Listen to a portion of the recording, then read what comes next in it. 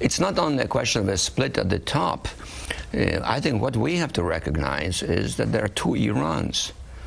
We have sort of permitted the mass media and interested parties, particularly in the last eight years, to create a picture of Iran as a kind of backward, fanatical, fundamentalist society with everyone being practically in the Middle Ages.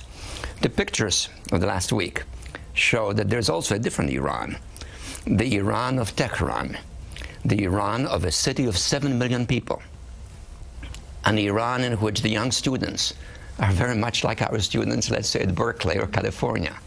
a middle class, women with fashionable sunglasses and so forth, slightly covered.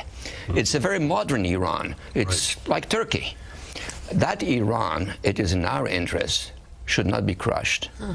And if we encourage a showdown, if we become over involved, if we become imprudent, as some people are advocating, I think the end result could be the crushing of that Iran.